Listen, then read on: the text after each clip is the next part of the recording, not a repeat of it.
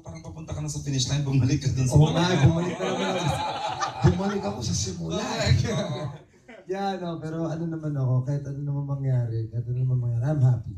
I'm blessed. And I'm ready to go to work. So loveless kayong tatlo pala. Yeah. Yeah. Oo. Ikaw, na-bless ka ba? Oh, Kasama ko naman si Gerald eh. Punong-puno ng pagmamahal ng show na to. okay. ng Otwol. So, at, although nag-direct ka din doon, ang ano kasi, parang may pressure ba? Na, ay, dapat ganun, ganun successful din nito yun. Opo, na sobrang pressure. Ako, kaya kabahan ako kasi ang hirap eh. Eh, Pero doon yung feel to ah. Opo. Tapos, I mean, yung scope, ang scope eh. ang laki, di ba? Ang, sa totoo lang, mahirap siya i-shoot. Yung, yung triathlon, may underwater ka, ang daming aspects na kailangan mong isipin. Tapos parang nagpapasalamat din ako kay Sir Deo tsaka sa Dreamscape.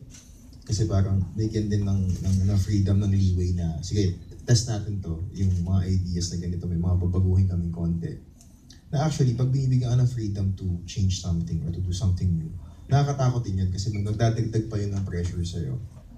So, yun po. Tapos, kung kung yun pa nga, parang kung i-compare sa Otpo na naging success, mas dadagdag mo pa ulit yun dun sa... So, nakaka, ka, Ah, nakaka ano po talaga. So, yun. Pero at the same time, challenging siya.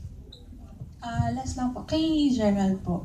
Um, anong, kasi diba, yung isang mong, yung Nathaniel, ah, ins- inspirational din siya, like this. So parang anong feeling sa'yo na parang nalilinya ka sa mga inspirational shows, tas sa prime time pa? Ah, yun po yung pangarap ko. You know, ah, sa lahat ng interviews ko, lagi ko sinasabi yan. Lagi tinatanong sa kung ano yung dream role ko.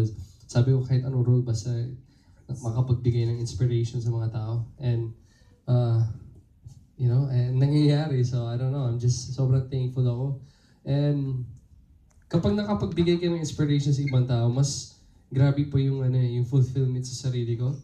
And it just makes everything much easier kahit sobrang hirap sa taping, kahit ito sobrang physical ng gagawin namin. Kahit pagod na pagod ka at the end of the day, alam mo kapag may natutuwa at may na-inspire ka, di ba? I mean, walang katapat yung feeling na yan.